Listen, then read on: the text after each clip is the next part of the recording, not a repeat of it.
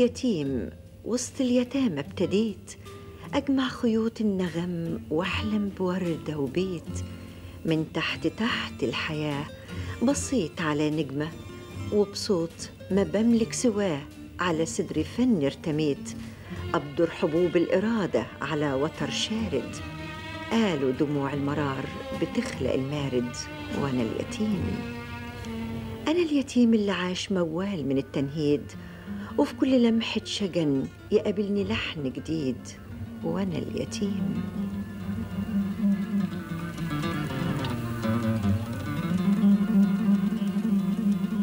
أنت علاقتك إيه بالاستاذ عبد الحليم؟ ابن خالتي ومتربيين مع بعض اتربيتوا فين؟ هنا في البيت ده في الحلوات في البيت ده اهو؟ آه احكي لي كده حاجة عنه كده بسيطة لما كان وأنتوا أطفال كان دايما غاوي أغاني ويقعد يغني كده وهو بيلبس في آه. هدوم مثلا يبص في المراية وهو بيغسل وشه ويغني آه ودايما كان منطوي على نفسه كده ويعني عنده حزن كده دايما كان حزين ليه يا ست أدرية؟ عشان والدته ميتة وهي وهو طفل يعني ما شافهاش أحلى غنوة بتحبها له إيه؟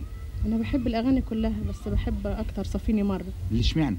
لأنه هي يعني طبعا سبب السعد عليه هو أنت تعرف آه، الفنان عبد الحليم حافظ هو عنده كام سنة يا عم رجب عنده 20 يا فندم أو 19 كان ساكن فين؟ بالبيت اللي جنب مني. بيت خالي والحاج متولي عماشة آه قريب منك أيوه. يا فندم. كان بيقعد عندك هنا؟ باستمرار. كان بيقعد يغني؟ باستمرار. أيوه يا فندم. كان بيغني إيه؟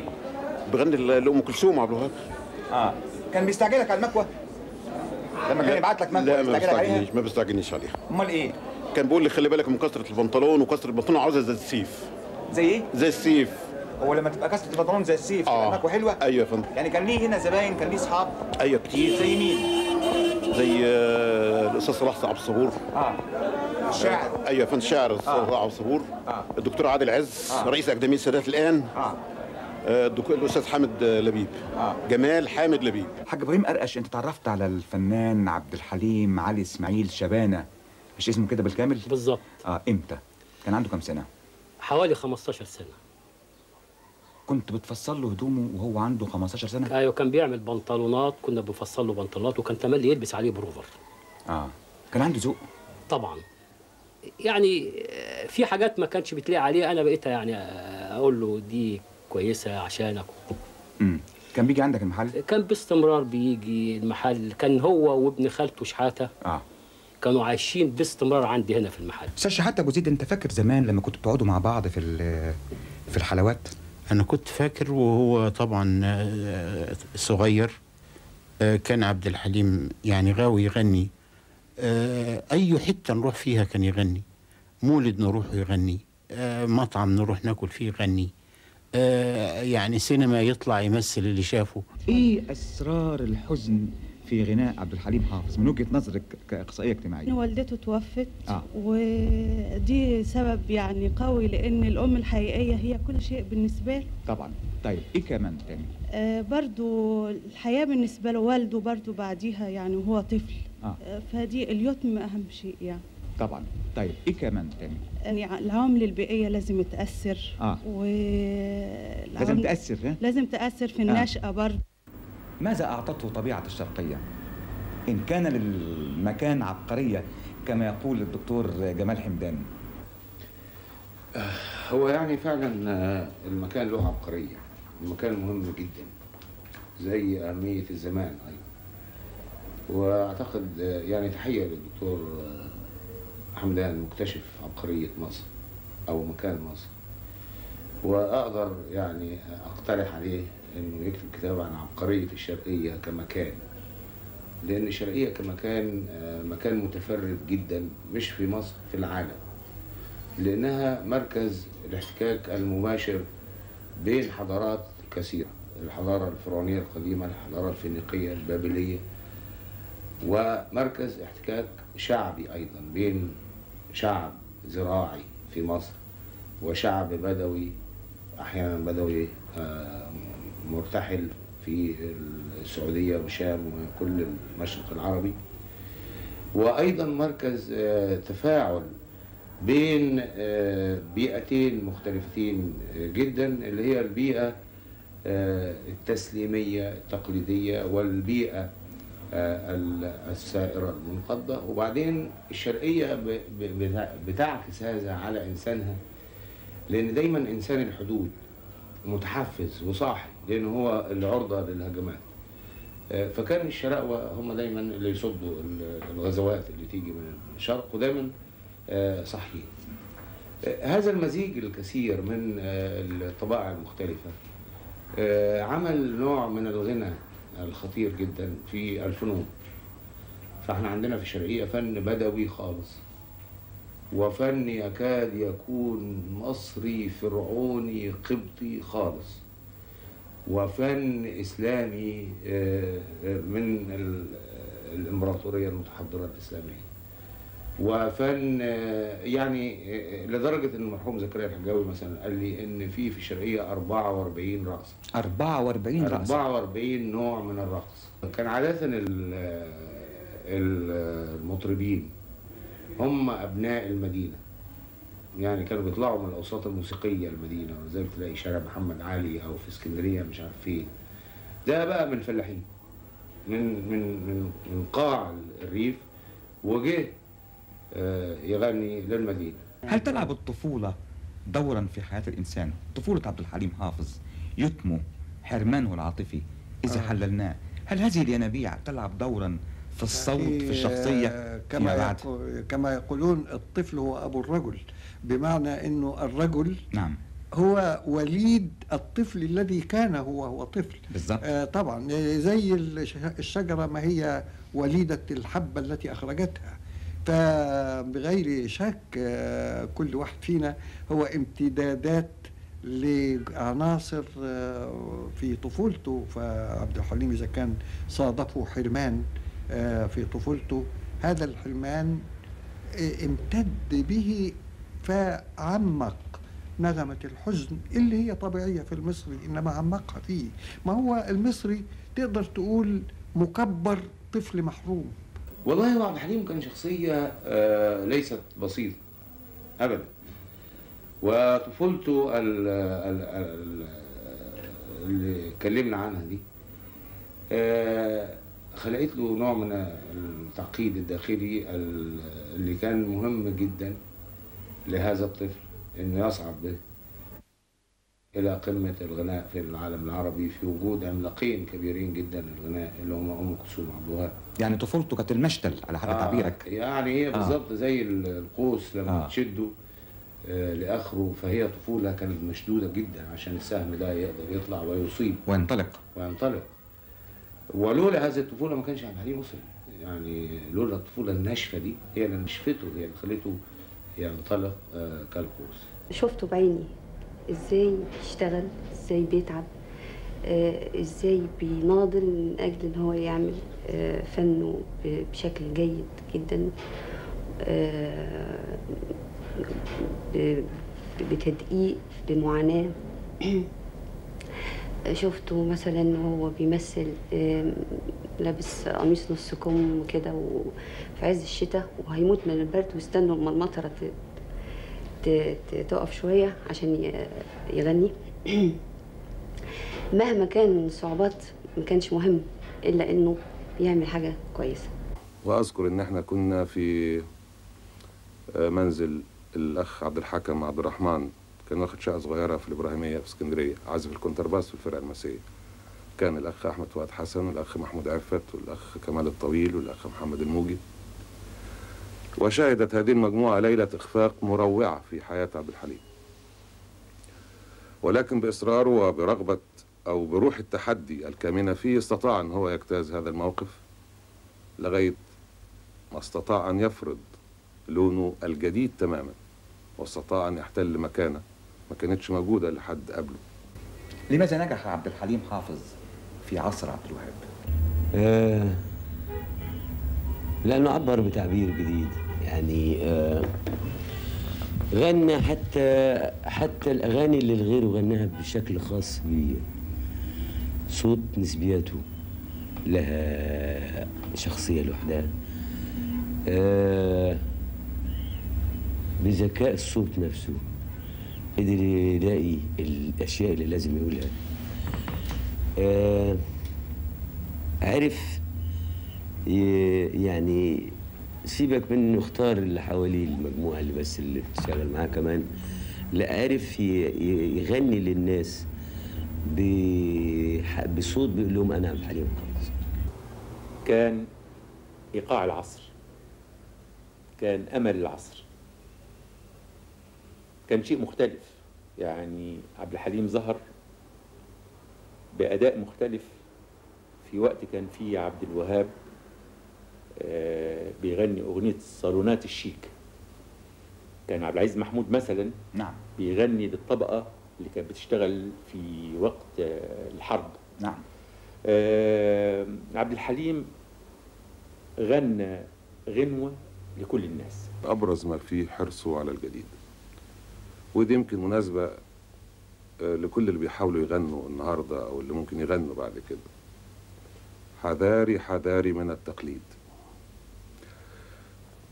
يعني أنا أذكر أن في الفترة اللي ظهر فيها عبد الحليم ظهر أيضا آه، آه، مطرب له صوت من أحلى وأجمل الأصوات هو الأستاذ عادل مأمون. وعرف عادل بأنه يجيد أداء اغاني عبد الوهاب وأنا أذكر مرة في إحدى حفلات أضواء المدينة غنى لا مش أنا اللي أبكي وأذيع التسجيل في حفلة أضواء المدينة ففي صوت تسقيف وجماهير. فالناس قالوا الله إمتى عبد الوهاب غنى الأغنية دي في حفلة؟ قد كده كان صوت عادل مأمون يقارب صوت عبد الوهاب إلى هذا الحد اللي خلى الأمر يختلط على الكثيرين ويتصوروا أن المغني هو عبد الوهاب وليس عادل مأمون.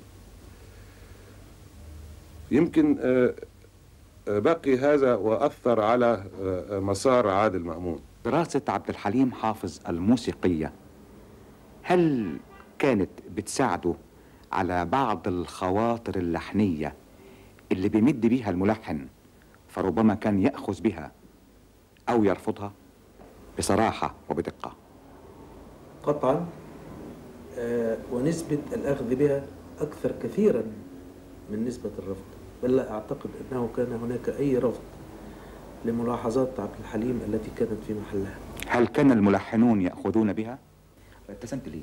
لأن يعني هو لم يحدث أن عبد الحليم حافظ أبدا آه، طرح خواطر على ملحن عبد الحليم كان ميزته العظيمة أنه أحسن من يصنع مونتاج للأغنية يعني كل ملحن في النهاية بيبقى عنده خواطر كتيرة جدا ومزدحم بأشياء كثيرة جدا وأحيانا تختلط عليه المسائل الأحسن إيه والأوحش إيه. خاصية عبد الحليم أنه كان يستطيع أنه ياخد أحلى ما قدم و و و وبسرعة مذهلة وببساطة أيضا مذهلة.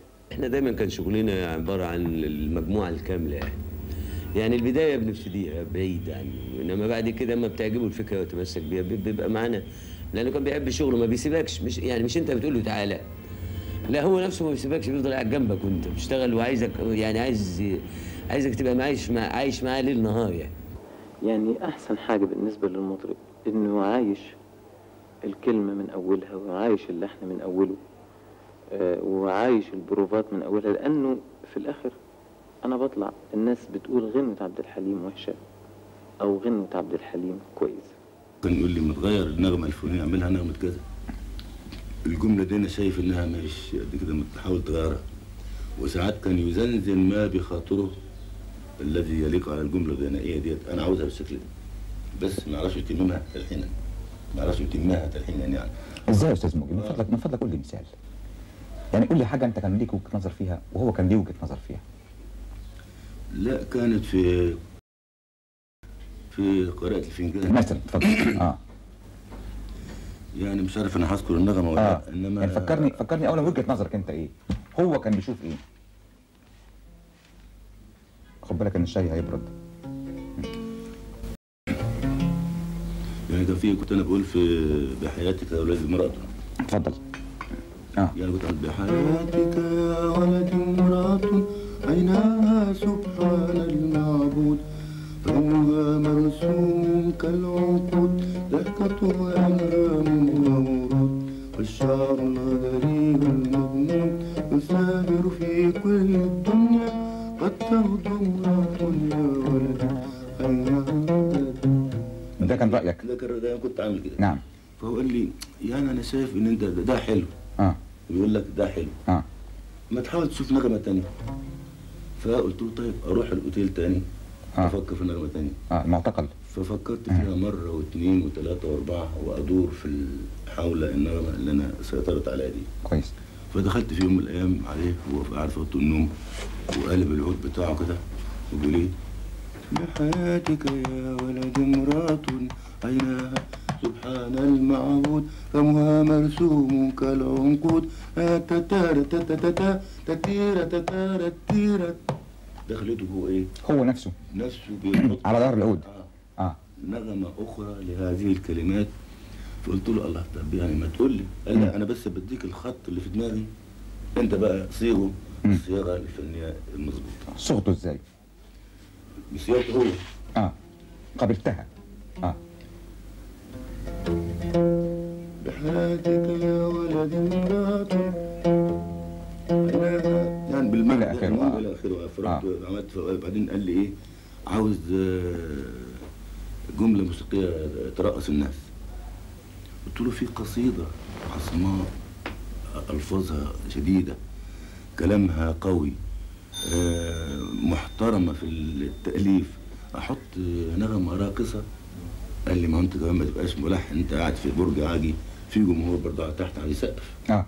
قلت له يسقفوا في غنوة شعبية يسقفوا في لحن عادي انما في قصيدة الناس الناس بتسمعها وهي صامتة يقول لي وأنا احب الصمت الجمهور أنا احب انه يسمع امم دي مدرسته فلقيته بيقول آه. تتتا تتتا برضه هو اللي بيقول لي آه قلت له ده قال لي قول لما كمل الشناوي مرة قال لا تصدقوا عبد الحليم حافظ إلا حين يغني عبد الحليم كان دبلوماسي إيه حيثيات العبارة دي؟ يعني ما هو برضه عبد الحليم لأنه كان يعني فتى المجتمع وليه ع- عديد الصداقات وعاوز يجامل كل الناس. فكان طبعا لا يستطيع إنه يقوم يعني آه، بهذا الجهد الشديد آه، مهما حاول. فكان بيحدث اللي إحنا بنسميه الكذبة البيضاء. فكان الله يرحمه الأستاذ كامل الشناوي يقول له أنا لا أطالبك بالصدق ولكن بأن تحسن الكذب. وفي ناس يعني ما بيعجبهمش الدبلوماسية. آه. ده. إنما يعني عبد الحليم لما كنت تقعد لوحدك وياه كان بيبقى صادق مية المية إنما كان بيخفي لما يقعد في الجموع بيخ- بيخفي ألامه لأنه كان بيعتبر إن هذه الألام هزيمة. صورة للمصري من أعماقه من عدة زوايا. لعل أهمها طابع الحزن الذي يبدو في غنائه. نعم. وطابع الحزن مميز للمصري. مميز للمصري لأن الحزن في طبيعته حالة وجدانية أهم ما تتميز به تلك الحالة هي آه، أن الإنسان آه، في موقف مغلوب فيه على أمره موقف فرض عليه ولا حول له أمام هذا الموقف ولا قوة. موقف يكون فيه مسلوب الإرادة زي الموت. نعم. الموت عندما يهاجم آه، عزيز عند الإنسان أه الموت هو الموت لا حيلة لنا فيه ولا مهرب ولا مفر فيحزن من مات العزيز عنده يحزن لا يغضب. لا لا يغضب نعم. لأن الغضب حالة تريد أن تغير الموقف وتستطيع أن تغير الموقف. نعم. الغاضب من من موقف ما يستطيع أن يغيره. الحزين لموقف ما هو حزين لأنه استسلم. الحزن في في في طبيعته نوع من الاستسلام والإستسلام أشكال وألوان. استسلام للقدر. استسلام للحاكم استسلام لحكم الظروف الطبيعية اللي لا حول لنا أمامها. عبد الحليم حافظ رنة الحزن عنده. صحيح لأسباب أخرى تذكر في كل أغنية على حدة. يعني حبيب يهجر أو آه، بلوى أصابته أو شيء من هذا القبيل. لكن أجاد في التعبير عن الحزن المبثوث في صوته لأنه مصري أساسا. كان عنده شيء بيألمه بيحاول يعبر عنه. يعني آه، الأغاني العاطفية أو الأغاني اللي كان بيصرخ فيها فعلا بيحسس بالألم. وكأنه بيقول للناس يعني ما تتألموش الألم شيء قاتل كل هذا آه، يجعل نفس عبد الحليم حافظ في غنائه الغول بشري يعني ال ال ال ال الحزن بتاعه آه، يعني في بي- بيغذي آه، الحزن الكامن في الرجالة وال- والستات. ضآلة حجمه وكون إنه مش مش نموذج للرجل القوي الفارس. ده كان بي- بيخلي الستات تعطف عليه والرجاله أيضا آه، تعطف عليه. وهو كان بيحس ده. يعني هو في أغانيه كلها وكأنما كان يقول للناس حبوني. عبد الحليم هو الفنان اللي لحد دلوقتي بيحسسني إن أنا ست وعندي قلب. أنا بحب عبد الحليم لأنه مصري وبحس إنه مننا وزي أخويا ابن خالتي أو كده. وبحس إن كمغني ك- لا شك إن صوته دخل آه، قلوب الناس كلها بشكل يعني آه، آه، فريد. ما سبقلوش ابدا إنسان دخل بالطريقة دي. إنسان فعلا آه، خلى في حب في الأغنية بتاعته العاطفية. وفقدنا الحب وال آه، والأغاني الجميلة بتاعت زمان والصوت الجميل. بحس إن أداء الأستاذ عبد الحليم بيدخل القلب قوي وفيها شبابية. يعني إحنا كشباب بنحس إن أغنيته يعني أغانيه كلها شبابية. واداؤه حنين قوي. يعني رغم إن هو كان بحس إن هو متألم جدا لكن في نفس الوقت كان بيحاول يساعدنا. حركته على المسرح هل قلب قواعد المطرب؟ آه طبعا. يعني يعني آه، عبد الحليم حافظ آه، في الوقت اللي كان المطرب يقف متنشي على المسرح آه، نقل الحركة الأوروبية إلى المسرح المصري وابتدى المغني آه، يتحرك حركة طبيعية جدا وتحس آه، وانت بتسمع انه مش مجرد صورة صورة قدامك أو صوت قدامك لا ده ده بيديك عالم بكا بكل جوانبه. شفت مثلا أقول لك العازفين وهم بيعزفوا الألحان. آه. قد إيه هم مستمتعين باللحن؟ كانه هم اللي هيغنوا من غير نوتة ولا حاجة. يعني شافوا النوتة وحفظوا اللحن وخلاص. يعني في نوع من ال- التعاون والتجانس والوحدة الفنية كمال الطويل. محمد الموجي صلاح جاهين عبد الحليم مرسي جميل عزيز. في تآلف و... و... و...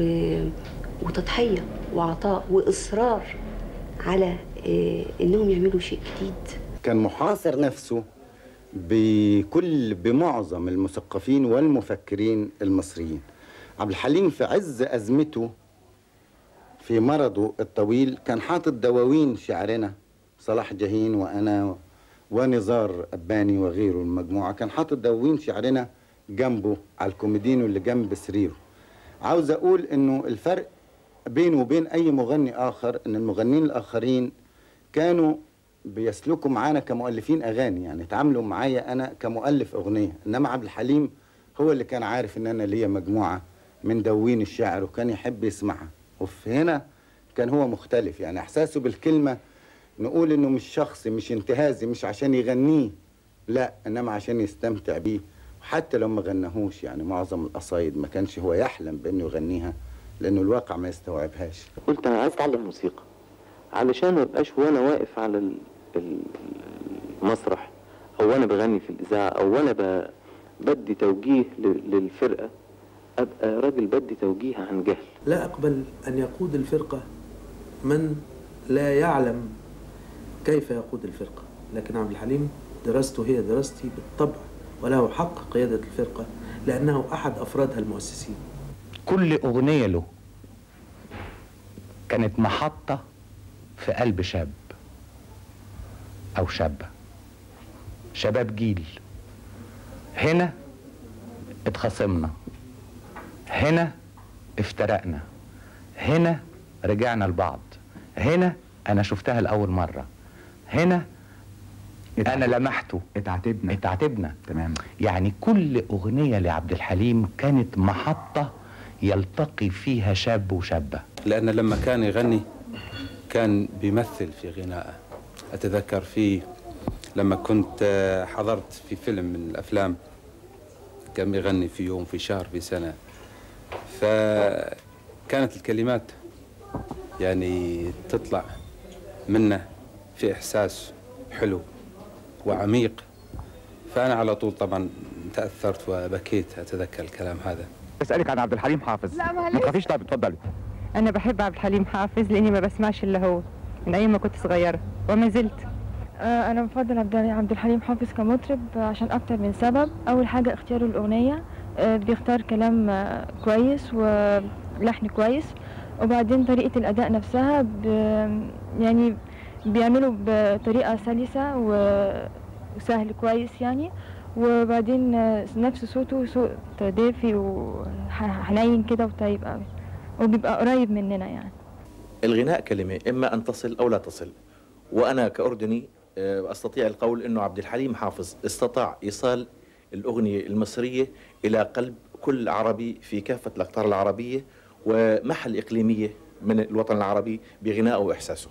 كأنه ينبوع يعني كأن الصوت آه، يخرج لا لأنه آه، يعني مفروض عليه نعم. ولكن آه، يعني بلبل بي بيغني نعم. بلبل بيخرج تغريد آه. طبيعي منه وبالإضافة إلى ذلك اندماجه مع جمهوره برضو يذكرني بطبيعة في المصري إنه عشري نعم. ما هوش زي بعض الأجانب مثلا في الغرب. آه، ما تحسش إنه عاوز يختلط بالناس. آه، ولكن المصري يختلط بجاره ويختلط بصديقه ويختلط حتى بالناس في الشارع من غير سابق معرفة يعني. فالعشرية ده هي بر- برضو بادية في يعني كأنه عبد الحليم بيعتبر جمهوره أهله وعشيرته كأنه نعم. كأن كأنه يعني واحد منهم واحد كأنها منهم. أسرة اجتمعت نعم. وكنت ألاحظ كتير إنه يدعوهم إلى المشاركة معاه تمام. إما بالتصفيق أو بالمشاركة في- يعني يعني أحس إنه ملتئم وملتحم مع جمهوره آه، كأنهم آه، في بيت في حفلة خاصة بيغنوا سوا أو شيء من هذا القبيل. عدى النهار والمغربية جاية تتخفى ورا ظهر شجر وعلشان نتوه في السكة. شالت من ليالينا القمر وبلدنا عالترعة بتغسل شعرها. جانا نهار ما قدرش يدفع مهرها. يا هل ترى الليل الحزين؟ أبو الغناوي المجروحين أبو النجوم الدبلانين. يقدر ينسيها الصباح أبو شمس بترش الحنين؟ أبدا. بلدنا للنهار. بتحب موال النهار لما يعدي في الضروب ويغني قدام كل ظهر تفتكر ليه نجحت الغنوة الوطنية؟ عدة أسباب. كلها أسباب تاريخية. السبب الأول إن إحنا كنا سعداء جدا. بالثورة. آه، السبب الثاني إنه كان طلع حاجة اسمها الشعب. ما كانتش موجودة زمان الحاجة اللي اسمها الشعب دي. فكان كان كل واحد بيحتفل بيها. فالروح بتاعت الشعب آه، والأغاني الشعبية أضيفت. كان في كمان العروبة. آه، يعني كونها دخلت في ال- في الواقع السياسي برضو كان مدي للأغاني دي قيمة كبيرة. بس هو ما كانتش قيمته كلها في صوته. يعني ولو إن قيمة صوته حاجة كبيرة جدا جدا جدا. إلا إنها كانت تمثل آه، ربع آه، قيمته كفنان. لأنه كفنان كان آه، واعي. ربع.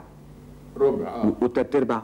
والتلات أرباع كان ذكاء اجتماعي وحس أدبي وأشياء أخرى يعني. اولا هو عبد الحليم آه، ال- إذا كنا نقول الربع صوت إنما التلات أرباع مصرية. مش ذكاء اجتماعي. وصدق لا بالعكس. أنا بقول إنه عبد الحليم لولا كان حاسس اللي جوانا وقادر إن هو يعبر عنه ما كناش نتصل بيه هذا الاتصال العميق جدا. فهو مش قضية ذكاء يعني مش أي ذكي اجتماعي يقدر يبقى عبد الحليم حافظ حتى لو عنده صوت أجمل وأكبر من عبد الحليم. عبد الحليم كان عنده شيء أصيل في أعماقه وده العامل الوحيد اللي يخلي الفنان يبقى أو ما يبقاش. أستاذ كمال الطويل بشوف إنه أغاني عبد الحليم حافظ الوطنية كانت واجهة نظام مما لا شك فيه إن الملحن أعطى لعبد الحليم حافظ هذا المذاق حتى أصبحت الأغاني الوطنية وكأنها أغاني عاطفية. إيه كيمياء هذا الكلام؟ يعني اسمح لي بس أتحفظ في حكاية واجهة نظام لأن نعم. إحنا لما كنا بن بنلحن أو هو كان بيغني أو صلاح جاهين كان بيألف ما كناش بنغني آه، لحكومة أو لشخص أو إحنا كنا بنغني لمصر. آه، وكان آه، مطرب جيلي. وكمان الشرايط اللي سمحت بها الحكومة حاليا إنها تذاع. أغانيه الوطنية؟ أغانيه الوطنية. لما نعم. تسمعها حضرتك تحس إن عبد الحليم حافظ كان مؤرخ. يعني تقدر تقول إنه كان مؤرخ للفترة دي. آه. وكان غنى غنى كلام ما كانش تتصور إنه لا يمكن آه، يتغنى. حكاية شعب. ما مش ممكن كلام لما تيجي تقراه تقول إن ده ممكن يكون أغنية. مقالات. آه, آه. تحس إنه مقال. آه. أو حدوتة حكاية. صح. وفجأة غناه. ولحن هذا الكلام. كان صادق في صوته وبالتالي صادق في التعبير ال- المعنوي اللي في مضمون ال- الغناء. نعم. آه، آه، عندئذ السامع بيحس صدق الصوت من خلال صدق الصوت. آه، صدق في المعنى الذي يؤديه. وكان بيؤدي معاني آه، وطنية تنفذ إلى قلوب السامعين حقيقة يعني لأن لا تكلف فيها. آه، قد يغنيها مغني آخر فالإنسان يحس أنه مملى عليه هذا الكلام. نعم. آه، وكأنه إذا مفروض علينا أن نسمعه. لكن من عبد الحليم الإنسان يحس أنه هو الذي يريد أن يقول هذا المعنى. ولذلك عبد الحليم لعب دور مهم جدا. سيبك من عبد الحليم كمطرب. نعم. عبد الحليم في حياتنا له آه، أهمية خاصة لأن أعتقد إن هو زي ما جه من الفلاحين عشان يغني لمصر اللي هي ما كانش بيطلع منها فنانين أبدا إلا المتجولين في الموالد الحاجات دي. آه، فده واكب أيضا آه، نشوب ثورة في مصر ثورة 23 يوم سنة 52 فالثورة دي آه، أكثر ناس خدمتهم هم الفلاحين والعمال. وغنى عبد الحليم الثورة. يعني أنا بعتبره الثورة مغناة ما القيمة المستفادة من فن عبد الحليم حافظ؟ ويمكن أن تهدى لكل مطرب شاب جاء بعد رحيل العندليب آه، هو عبد الحليم بيدينا آه، درس مهم جدا الحقيقة. عبد الحليم ما كانش بيغني للحكام كان بيغني للشعب. حتى من أوائل أغانيه إحنا الشعب إحنا الشعب مش صدفة. من من الأصوات تشدك بعد رحيل عبد الحليم؟ وساكتم السر. آه، الأصوات الجديدة؟ نعم. والله أنا يعني ب- ب- ب- بستمع لها كلها الحقيقة إنما يعني هي المشكلة في الحقيقة مش في الأصوات. لأنه إحنا بنعكس الآية يعني بنحط الع- العربية قبل الحصان آه، المشكلة في الموسيقى. لا هي أزمة كلمة. الموسيقى فقدت شخصيتها إلى حد ما. فبقى الأغاني الفرانكو أراب دي اللي لا يمكن تغني عليها مصري. آه، والفرق الفنية المختلفة اللي لا يمكن تأدي غناء آه، مصري. ومثلا استحالت في الفترة الأخيرة حتى الأغاني إلى آه، جاز يعني موسيقى جاز. حاليا أزمة أصوات. آه. إنما كفن عام وكأغنية مصرية أزمتها حاليا أزمة كلمة يعني الشبان الجداد اللي طلعوا بعد عبد الحليم حافظ لو لقوا كلمات مناسبة ممكن جدا يبقى ده ميلاد جديد للغنوه بعد عبد الحليم الحقيقة اصله الفترة اللي الأستاذ عبد الحليم قدمني فيها كنت لسه لسه صغير في السن قوي يعني م. لكن طبعا فاكر كل حاجة قالها لي وفاكر آه إنه قال لي إزاي تقابل الناس وإزاي تتعامل مع الناس وإزاي تخلي الناس تنتبه لك وأنت بتغني وإزاي تختار الكلمة وإزاي آه كم في المية من النصائح دي نفذته؟ تفتكر؟ آه والله؟ طب إيه؟ قول آه يعني ما آه في طبعا غلطات كتير من لا أنا بقول لك كم في المية؟ ما حوالي كم في المية نفذته من نصايح عبد الحليم حافظ؟ 40% 40 في المية آه لو أنا قلت لك 20 أبقى أنا مبالغ؟ يبقى أنت صح يبقى أنا صح أستاذ عماد عبد الحليم هل صحيح كان عبد الحليم حافظ بيحارب الأصوات الجديدة؟ اطلاقا بدليل إن أنا يعني آه، الأستاذ عبد الحليم قدمني في حفلة وكان بيفكر يقدم آه، أصوات أخرى في- آه، في حياته يعني. طب في زملاء ليك بيقولوا إن هو كان بيصادر المواهب الجديدة ده صحيح؟ اطلاقا ما في أصوات كتير طلعت في وجود الأستاذ عبد الحليم حافظ وكانت موجودة بشكل كبير قوي وبعد وفاة الأستاذ عبد الحليم مش موجودة اطلاقا طب ليه ما حصلش تألق للأصوات الجديدة؟ إيه اللي ناقصها؟ مش ناقصها حاجة مم. لكن آه، معرفش الناس مستعجلة انه يبقى في عبد الحليم حافظ تاني في فترة قليلة الناس ولا المطربين الناس والمطربين آه يعني الناس مستعجلة على ظهور عبد الحليم حافظ الناس آخر؟ مستعجلة آه آه. الناس والمطربين مستعجلة. أيضا نفسهم يبقوا عبد الحليم حافظ آخر لا صعب صعب. اللي يفكر إنه يبقى عبد الحليم حافظ في يوم وليلة يبقى مش صعب ليه يا أستاذ عماد صعب لأنه آه، آه، عبد الحليم حافظ ده يعني 25 سنة كفاح وتفكير في غنوة جديدة وفي كلمة جديدة وما غلطش غلطات إحنا غلطناها كتير. اعترف لي كده إيه إيه الأخطاء اللي أنت غلطتها؟ يعني أنا أنا عن نفسي غلطت كتير. زي إيه؟ يعني في أول حياتي الشهرة وحلاوة الشهرة خدتني. كويس. كأي شاب صغير بيحصل له شهرة كده في في وقت قليل بيضيع يعني. كويس أدي حاجة. اتنين. اتنين يعني آه ك- عملت علاقات آه سيئة كتير أكتر من العلاقات ال- الحسنة. يعني أفهم من كلامك انه عبد الحليم حافظ كان إفراز لمناخ جيد. أكيد. هذا المناخ الآن أكيد. موجود؟ لا مش موجود.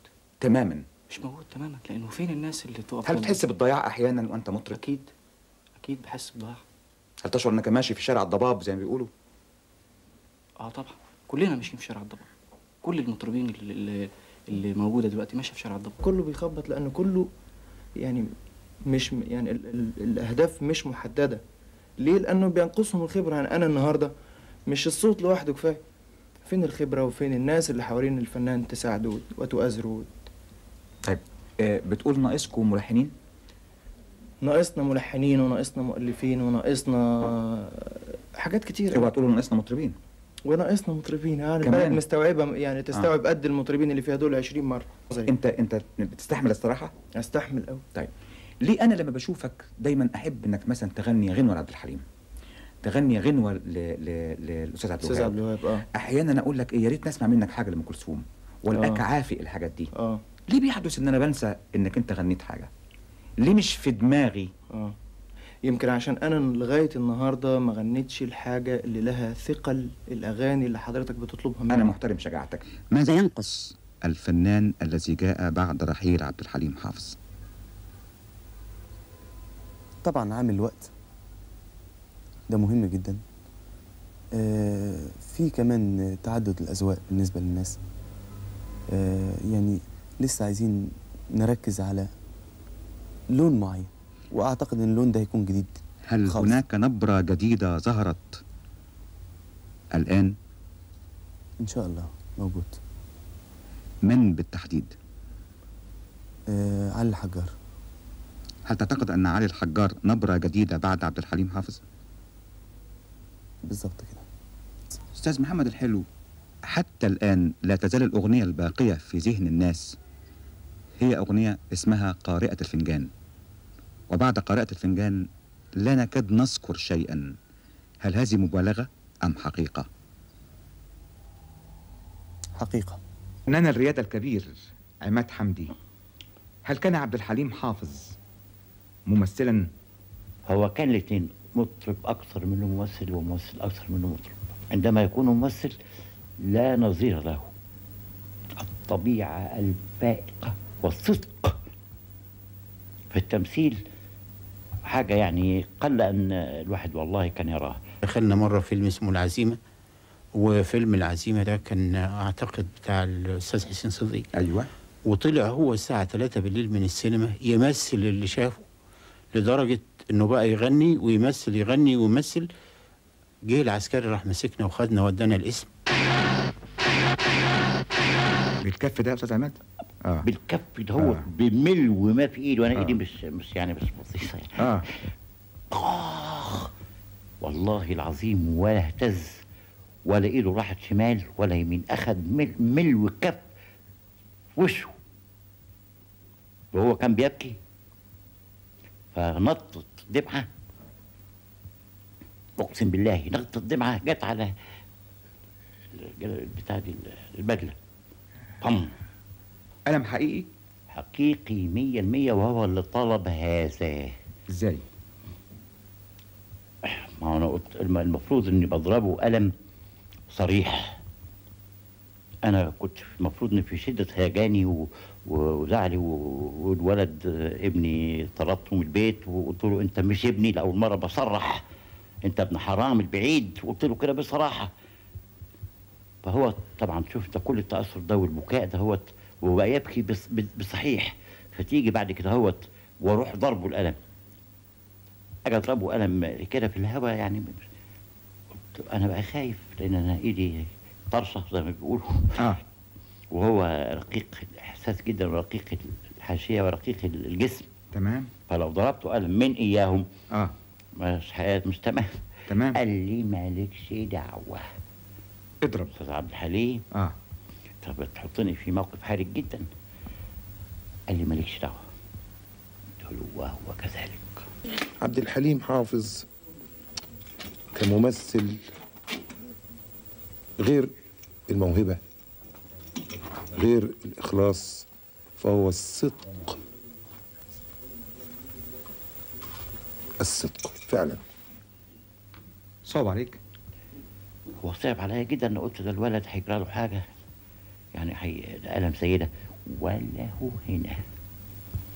ولا كأن حاجة. وكمل السنة اللي ليها كمالة.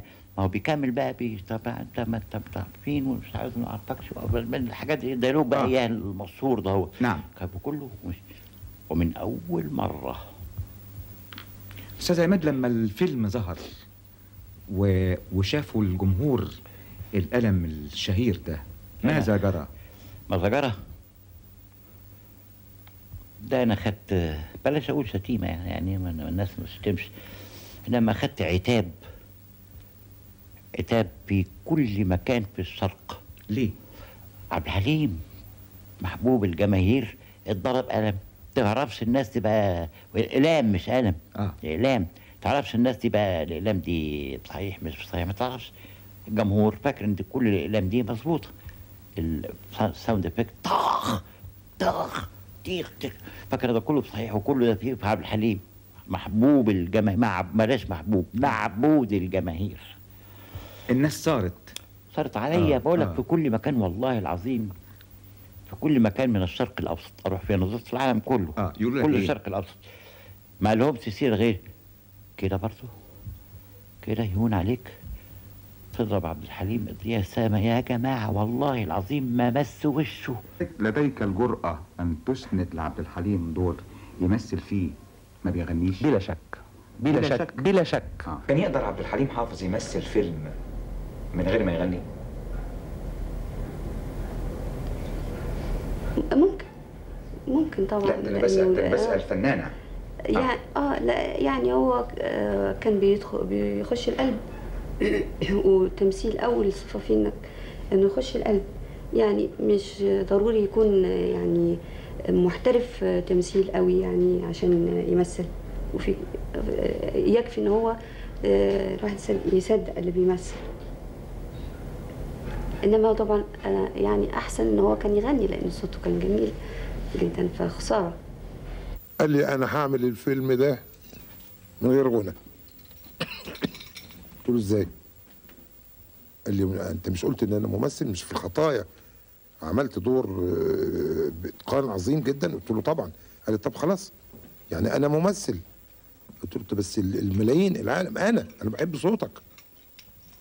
قال لي لا أنا عايز أمثل آه، فقط لا غير. قلت له لا. إزاي أقنعته إنه يشيل حزام الصوف المربوط حول بطنه؟ آه دي كانت دي كانت لقطة آه أنا لن أنساها. اتفضل. آه كنا بنصور قاضي البلاج أول لقطة لعبد الحليم آه في قاضي البلاج فبعت لي علشان أروح له الكابينة. آه لعلمك كان ملتزم التزام عظيم جدا في هذا الفيلم. في كل أفلامه يقال بس في هذا الفيلم لاني أنا التجربة الوحيدة اللي أنا عملتها معاه يعني الكاميرا كانت تبقى تسعة عبد الحليم جاهز من سبعة. أول واحد يجي وآخر واحد يمشي. نعم. فالساعة سبعة آه، دخلت له الكابينة. قال لي آه، يا حسين أنت مصر على إني أظهر بمايو؟ طبعا آه، آه، آه، قاضي البلاج. تمام. مايو. نعم. بس أنت في حاجة مش عارفها. هو كان لابس بورنوس فقال لي أنت مش عارف ده. أنا شفت المنظر كان هيقوم عليا فعلا يعني. شفت إيه؟ شفت آه، مساحة قد كده آه، من جرح واخد من معدته ولافف حوالين وسطه. والدر والجرح ده لا يمكن يتدرى قال لي هتعمل إيه يا أستاذ؟ ما عندكش فكرة يا أستاذ مفيد أنا حبيت الراجل ده قد إيه في اللحظة دي.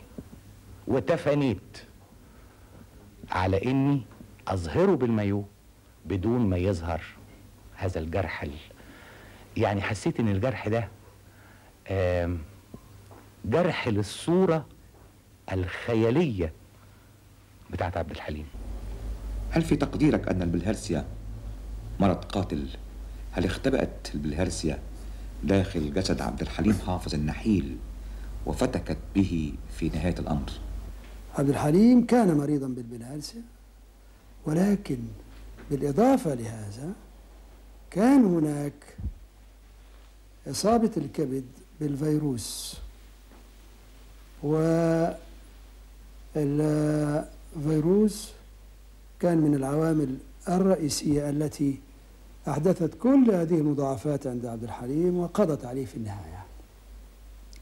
فإذا قلنا أنه آه، عبد الحليم أشهر مريض آه، مات آه، بالكبد في المنطقة. فلاح وأصيب بالبلهارسيا لأنه فلاح. زي ما أنا أصبت بها واتعالجت منها. وهو برضه حاول يتعالج منها بس بقى كان آه، في مشاكل أخرى. بقى هل مات عبد الحليم حافظ بالبلهارسيا؟ لا أعتقد إنه مات بالبلهارسيا اطلاقا. بتقول لا تعتقد؟ آه. هو طبعا تشخيص الأطباء إنه بالهارسيا وتشخيصك؟ تشخيصي للبلهارسيا سبب عنصر. عنصر. آه لكن عرض. لكن, لكن ليس كل الأسباب. لا السبب الحقيقي هو إنه آه، فقد الرغبه في الحياة. كانت آه، بذرة موجودة عنده من وهو طفل. ثم ظلت تكبر ويحاول يتغلب عليها بالغناء والشهرة وكل ما حققه من انتصارات. آه، ثم بيجي سن على الفنان بتتعادل فيه الرغبة في ال- ال- الفناء مع الرغبة في البقاء اللي بيدعمها طبعا الشهرة والمجد وحب الناس. فلما ضعفت رغبته في البقاء؟ آه، وزادت رغبة زادت رغبته في الفناء. آه، بصفة عامة هو آه، عبد الحليم كما قلت كان إيمانه ب- بالنجاح وأمله في المستقبل. أكبر من حقيقة ما يحيط به من أخطار. بحكم ظروف مرضه وبحكم معرفته الشخصية بمدى يعني مش عاوز أقول خطورة المرض إلى آخره لكن يعني كان كان يعي تماما حالته. وبالتالي عاوز عاوز يعب الحياة يعني عاوز يحتضن الحياة كلها بكل ما فيها ويعيشها. انتابه الإحساس بأنه يريد أن يعب الحياة. آه، آه، مجالس الأدباء والكتاب آه، لم تكن هي همه الأول. أصبحت مرهقة بالنسبة له؟ ما أعرفش. هو يمكن كان شاعر وما أعرفش إحنا كلنا بنقول هذا الكلام وهل هو حقيقي ولا لا لأنه بالتأكيد كان في أعوامه الأخيرة بتشعر أنه إنسان عاوز أن الحياة دي ما يريد أن يشربه بنهم وبنهم شديد. بس أحمد فؤاد حسن هل كان عبد الحليم حافظ بياخد حقن بين الوصلات الغنائية؟ بياخد مختلف أنواع الأدوية وليست حقن فقط. حقن وحبوب و والى آخره. أخذ علي أنني ناولت كوباية المية في وصلة منقولة على التلفزيون. فقلت لهم ولو قلعته الجاكيتة ومسحت له عرقه لفعلت لأن المية اللي خدها كانت عشان يبلع بيها حباية دواء. وأنا أعلم بأمراض عبد الحليم. طولي تسجيل من أول ما طلع التلفزيون أنا ما بشربش فيه مية. هل طلب يوما من عبد الحليم حافظ أن يعالج بدواء ما؟ كان للدواء ده أثر ربما على ذاكرته وربما على صوته وبالتالي رفض العلاج بهذا الدواء. آه هو في الواقع كلمة دواء بتنصرف إلى آه عقار يشرب أو يؤخذ حقنا أو أو. نعم. هو ده كان حقيقي بالنسبة لوسيلة من وسائل العلاج. هذه الوسيلة لم تكن دواء وإنما كانت عملية. عملية. كانت عملية. بالضبط. وكان لها هذا آه. الأثر؟ وكان يمكن أن يكون لها هذا الأثر لأن نسبة كبيرة ممن تجرى لهم هذه العملية آه، يشعرون بهذه الحالة بفقدان الذاكرة بشبه غيبوبة بعدم المقدرة على العمل الذهني.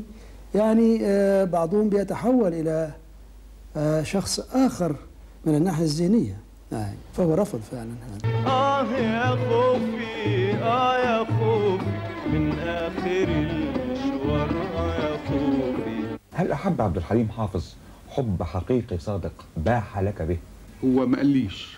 آه. أنا اللي قلت له. أنت اللي حسيت. آه. آه. إزاي اللي حصل؟ إن أنا كنت في حفلة من حفلات عبد الحليم.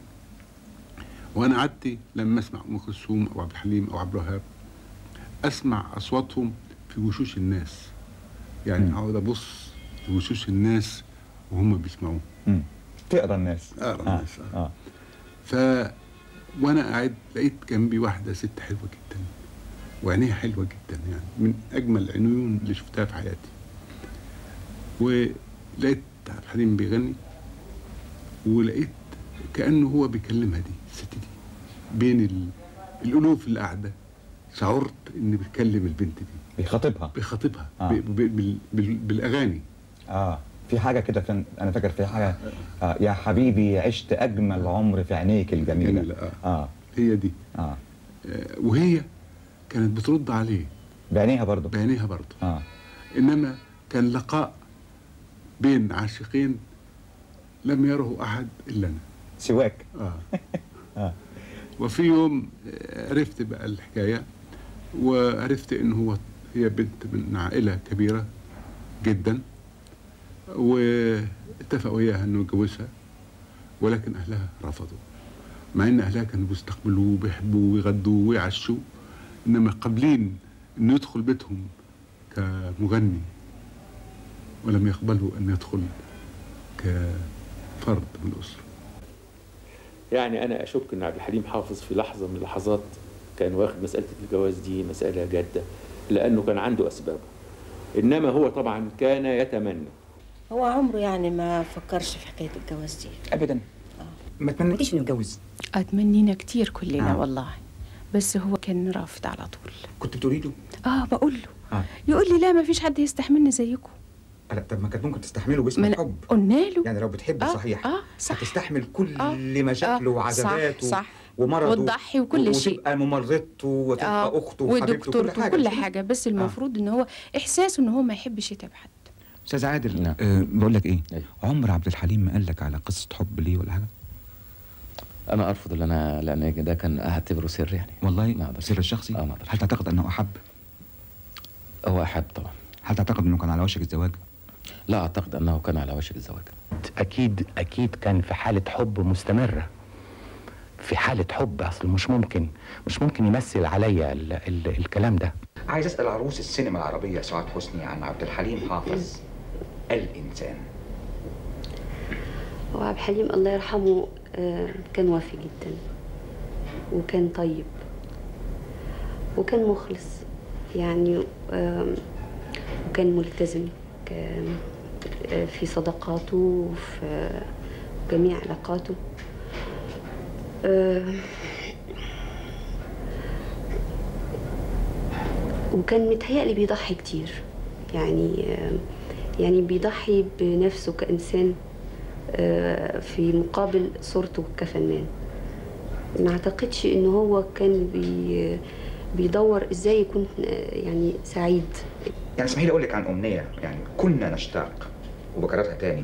كنا نشتاق وجمهورك وجمهور السينما العربية إنه سعاد حسني وعبد الحليم حافظ يجمعهم فيلم واحد تحت سقف بلاتو واحد. آه والله ولم يعني تتحقق الامنيه يعني أنا كنت هشتغل مثلا فيلم الضحى آه، ال- آه، قول معايا. اللي هو إيه؟ بتاع حسن إمام. آه. فيلم يعني. فيلم من الأفلام. ده فيلم مشهور قوي آه. بصراحة عن بالي دلوقتي اللي مثلته ناديه آه. و... وكنت متعاقدة على الفيلم بكل حاجة وبعدين حسن امام الخطايا؟ الخطايا. آه. الخطايا كنت. هتعمليه آه. أنت قلت الضحايا؟ آه. ما هي يعني نفس الوزن يعني. آه. فبعد ما كنت متفقة على الفيلم وكده آه، حسن على فكرة عنوان الضحايا ينفع. آه. لانهم كانوا فعلا ضحايا. آه، اتفضلي حاسس الإمام ما رضيش بيا. وقتها قال إن ال- الأنسب نادية لطفي. آه. وفعلا هي كانت أنسب دكتور وعملته كان حاجة يعني كان ممتاز. غريب قوي إنك في فيلم البنات والصيف طلعتي أخته مش حبيبته.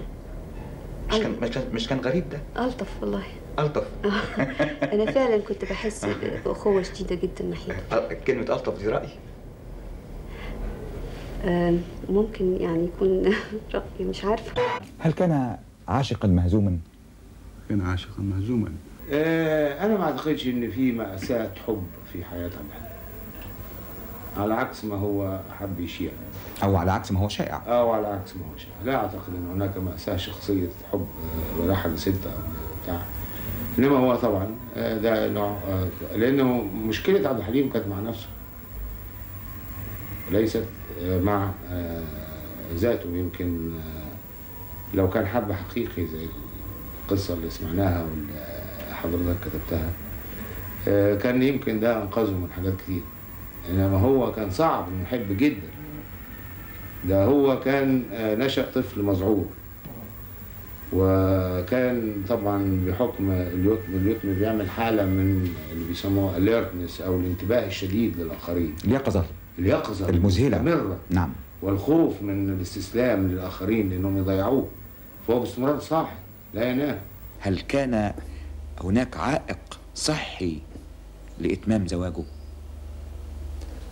آه، الحقيقة أنه آه، حالة عبد الحليم ما كانتش حالة ثابتة حتى أننا نقيس عليها باستمرار إنما كانت حالة آه، ديناميكية متحركة.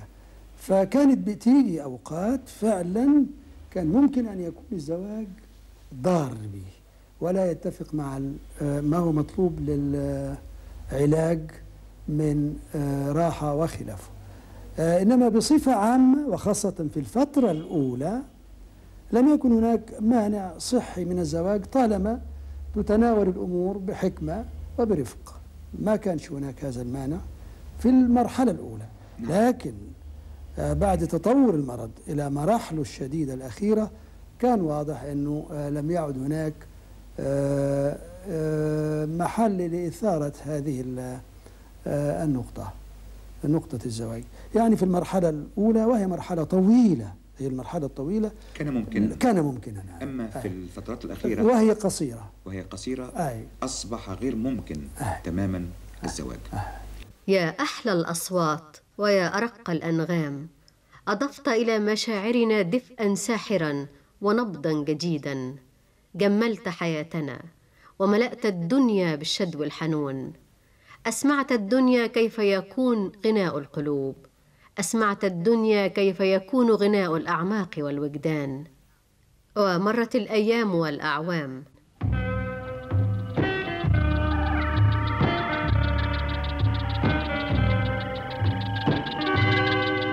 ألم أقل لك يا عاشق الميكروفون أن الميكروفون كان دائما يبحث عنك وكان دائما يسعى إليك في كل مكان.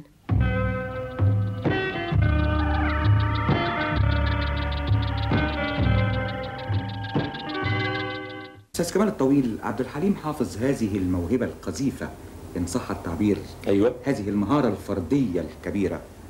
هل هي عنصر الإبداع وحده هو اللي اداله هذا الاسم المرموق؟ لا بالتأكيد لا. كان في بالتأك- بالتأكيد لا؟ بالتأكيد لا. آه. كان في فريق آه عمل كل هذه الأشياء مع عبد الحليم. يعني عبد الحليم نقدر نسميه الكابتن بتاع نعم. الفريق لكن في فريق كبير جدا. فريق الفنانين اللي كانوا بيعملوا واللي نجحوا مع عبد الحليم وبعبد الحليم. وهناك أيضا آه يعني سياج حوالين عبد الحليم يقيه من أطماع الطامعين اسمه مجد العمروسي هل في وجه شبه بينك وبين الفنان عبد الحليم؟ والله مش عارف هو يعني الحقيقة إحنا هو كان صديقي آه. كان صاحبي يعني ده هو يمكن تلاقي وجه يعني وجه الشبه ال- الوحيد يعني إنه الصداقه اللي بينكم وبين بعض الصداقه اللي بيننا وبين بعض آه الصداقه دي نمت إزاي؟ اتكونت إزاي؟ والله عرفتوا هو- بعض إزاي؟ والله هو كان صاحبي قبل أنا ما أعرفه يعني هو كان صديقي جدا آه. قبل أنا ما يعني أول مطرب أغني له آه يعني غنيت له طبعا في الحمام. لخ لخ لخمك الصورة؟ و... آه يا ريت أنا طيب. طول حاضر. بتاع مش اتفضل فمره آه، كان في غنيوة اللي هي أفتكر آه، فوق الشوك ما مشاني زمان، آه. وأنا كان ليا محبوبة في ال في ال في ال يعني في ال في الحي. نعم. فكنت دايما أنا ابقى سعيد جدا لما أعدي آه. من قدام بيتها في الحلمية. وأشاور لها أو حاجة زي كده. لو شاورت لي ده يبقى شيء عظيم جدا. آه. فمرة أنا ماشي وايه ويعني وبغني فوق الشوك ده جوايا ما بغنيهاش يعني جوايا فوق الشوك مشاني زمان. وكنت غاوي أحط نفسي في مود عذاب كده مع ان مفيش عذاب ولا حاجة يعني. إنما متهيألي إن هو يعني ال- الانفعالات ال- الدرامية العنيفة والتراجيديا الصعبة هي اللي بتخلق الحب يعني. نعم. فبصيت لها فشاورت لي فأنا ما صدقتش إنها يعني فأنا رحت مشاور لها و واتلخفنت شوية كده. ولسوء حظي كان في بلاعة آه. قدامي أنا مش شايفها آه. ودي كانت أول مرة هي تشاور لي فيها فأنا قلت خلاص بقى المسائل خلصت لازم تتجاوب وكانت يعني. الخطوة الثانية كنت في البلاعة على طول آه فكان يوم يعني حتى كنت احكي الحليم حافظ الحكاية دي آه. يعني كنا كان يقع من الضحك وأنتوا أصدقاء انت وعبد الحليم كنتوا تخرجوا مع بعض؟ ولا بس زيارات آه، كده؟ لا كنا بنخرج يعني آه. و... آه. أنا عدى عليه وهو يعدي عليا آه. آه مرة عدى عليا و وكنت أنا الحقيقة مش عارف مش عارف إنه جاي يعني. فكنت أنا رايح فرح بتاع واحد صاحبي فاسمه وجيه علي فقلت له آه، ما تيجي معانا عبد الحليم الفرح و... وتبقى مفاجأة. أنا عايز أعمل مفاجأة ل- لصاحبي يعني لما يلاقي عبد الحليم حافظ جاي له الفرح بتاعه. آه. طبعا شيء مبهج يعني. أكيد. عبد الحليم حافظ آه. كمان كان أكبر نجم في مصر. نعم. فقال لي okay. قلت له من غير فرقة من غير أي حاجة كده قال لي okay ماشي. خدته ورحنا ضربنا الجرس. أول ما دخلت الشقة بتاع صاحبي فلقيت العروسة ما لقيتش العريس وما لقيتش حد. كان مستنيني صديقي صلاح السعداني آه. و... واثنين ثلاثة كده. فبسأل آه، العروسة قلت لها فين العريس؟ قالت لي في الاسم في الاسم؟ قلت لها في الاسم آه. قالت لي آه اتخانق مع بابا وماما وراحوا الاسم آه. فطبعا وقعت أنا وحليم حافظ وقعنا من الضحك يعني. ف... واستنينا لغاية العريس ما جه الاسم آه. فالعريس بيفتح الباب هو آخر جاي من الاسم لا عبد الحليم حافظ في وشه. آه. فكانت مفاجأة طبعا بالنسبة له. آه. المهم إنه إيه أنا آه، صاحبي ده أول ما لقى عبد الحليم قال له الله عبد الحليم أنت اتأخرت ليه وكأنه هو جايب عبد جاي الحليم. حافظ آه. يغني له يعني آه. وغنى عبد الحليم حافظ من غير آه، أي من حاجة. غير فرقة لا من غير فرقة ولا وغنى للعروسين فقط ما كانش في لأن معازيم ولا المعازيم راحوا الاسم مع آه، أبو العروسة شهود؟ وأم العروسة شهود وخناقات وما رجعوش. وما رجعوش آه. العريس هو اللي رجع كانت ملاحظاته الشخصية ليك إيه كزميلة؟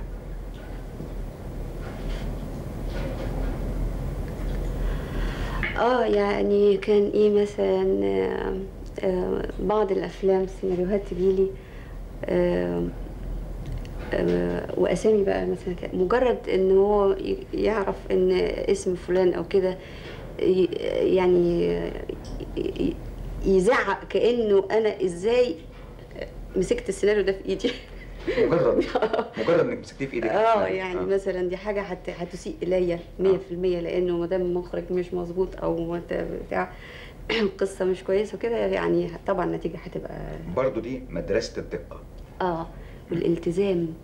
تفتكري أكتر وال... فنانه والشعور بالم... بالمجموعة. أصل آه. الفنان لوحده ما يقدرش يعمل حاجة كويسة لوحده. يعني لابد من المجموعة مع بعض. هل رايت الغرور فيه؟ لا أنا مش غير مرة واحدة في حكاية أم كلثوم. آه دي, دي اعتبرتها غرور. غرور آه. أنا لا مغرور ولا حاجة ده أنا راجل غلبان. من فضلك ليه؟ ليه اعتبرتها غروب؟ لأنه هو اعتقد إنه وصل لبقى إلى مكانة؟ أكبر من أم كلثوم. آه. وهنا خطأ. هنا خطأ تمام. آه، يمكن لو انتظر أكتر لو عاش أكتر يمكن يصل إلى مكانه ام كلثوم أحيانا برضو كان يعني آه، الحماس آه، يغلبه فيبقى ممكن يغلط ممكن ي... لكن يعني دي بتبقى أنا بعتبرها من الحاجات الكويسة في الإنسان إنه يبقى طبيعي آه، وإنه يتأثر بال- بالأشياء. يعني ما يبقاش كل حاجة راسمها موضبها تبقى كده مخططها. تبقى حاجة مش هل- لطيفة قوي هل كان إنسان عفوي؟ تاكيدا لكلامك كان إنسان عفوي كان في جانب عفوي كبير جدا. هو كان آه، شديد الكبرياء أحيانا وشديد التفريط أحيانا. أخرى في وقت واحد؟ آه. وأنا أعتقد ان اللحظات اللي كان بيتفرط فيها كان الطفل المسكين هو اللي بي... بيتصرف. أما في لحظات الكبرياء فكان هو الفنان اللي عارف هو بيعمل إيه ومدرك قيمته وأهميته يعني. لما قلت أنه كان يعيش حياة الشباب بلا شباب. ماذا قصدت؟ يعني قصدت إنه عبد الحليم كان في عمر الظهور و... ولكن كانت حياته الحقيقية مأساة كبيرة. هي مأساة رجل يملك المال ولا يتمتع به.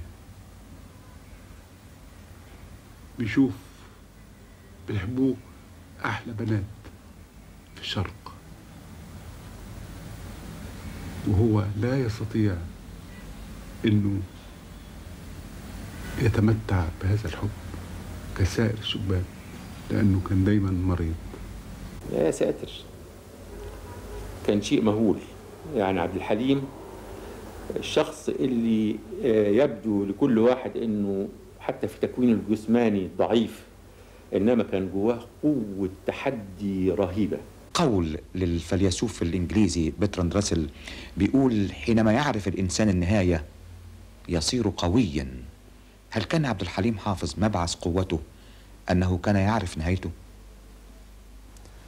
آه، هو كلام برتراند راسل حق طبعا لأنه كل هذا التردد وكل هذا الجزع وكل هذا الاهتزاز نتيجة الخوف من المستقبل الخوف في حد ذاته. لكن إذا استقر الرأي على صورة معينة من النهاية تمام. فيتلاشى ويتبدد هذا الخوف وهذه ال- الزعزعة. لكن في حالة عبد الحليم آه، آه، في أكثر من سبب كان ربما بيعطيه كل هذه الثقة. وكل هذا الأمل ويجعله يقف هذا الموقف ال- آه، الصلب أمام آه، احتمال النهاية. من فضلك هل شعرت وهو يسافر للمرة الأخيرة أنها رحلة بلا عودة؟ هل غطى الألم مساحة الأمل؟ آه، في المرة الأخيرة سبق السفر تحليلات. وكانت التحليلات فعلا آه، غير طبيعية بدرجة آه، تثير بعض الاهتمام. مش القلق الشديد إنما بعض الاهتمام. آه، وكانت هذه هي البداية. وأخذت الأمور تتطور وحتى انتهت إلى ما انتهت إليه. وراحت الدنيا وفضل هو مع الألم وبعض الأصدقاء ورجع تاني الصديق. لكن ما رجعش بجسده رجع عبر اللاسلكي صوت من حجرة ملاءة بيضاء وصوت مرتعش وأمنية. أي حاجة أنا اسمع أنا حاجي حاجي. عاوز أغني عاوز أغني للناس. حطني في المهرجان. ولكن مهرجان الدموع استقبلت عبد الحليم. وفاة عبد الحليم حافظ يعني عايز أقول إن آه، ما زال عبد الحليم حافظ هو المطرب الأول الموجود في مصر. وبعد وفاته ابتدى آه، زي ما كان موجود كمان ابتدت ناس كتير مطربين يهاجموه. و... وكانت النتيجة إن لما مات عبد الحليم حافظ الناس دي أصبح لا حس لها مطلقا. يعني وده يؤيد كلامي إنه كان مؤثر تأثير جيد جدا حتى بالنسبة للملحنين اللي كانوا بيلحنونه يعني بيلحنوا له. آه، ما شفتش ما شفتش إنهم عملوا حاجة بعد وفاة عبد الحليم حافظ. أستاذ كمال الطويل حضرتك لحنت لمين بعد رحيل عبد الحليم حافظ؟ من الشبان الجدد. لا أحد. المكان الذي خلى برحيل عبد الحليم ده أزعجني أنا شخصيا وخلاني مثل التائه. يعني آه، الآلة بتاعتي راحت يعني قيثارتي منيت. فترة طويلة كانش ليا نفسي أعمل مزيكا آه، سيبك من التعبير الخاص يعني أنا آه، يمكن لأول غنوة أول مرة أكتب شعر أو غنوة تكتمل آه، في نفس اليوم اللي, اللي توفى فيه اسمها بنلف في نفس اليوم؟ آه. في نفس اليوم صباحا في الفجر يعني بعد ما انتهت إيه الأشياء. فيها؟ اسمها بنلف السنين بتلف. والام بتزيد وجراح بتخف. حقا يا عندليبنا الأسمر كان الفن العبقري يصدر عن روحك لا عن جسدك. وكيف لا؟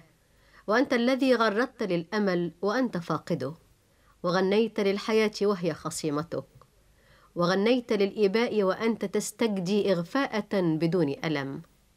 وغنيت للسعادة وأنت الذي ودعتها منذ أن عرفت نفسك. وغنيت للعذاب عله يرق لجراحك. غنيت متحديا الألم متحديا العذاب متحديا الضعف ومتحديا الجراح.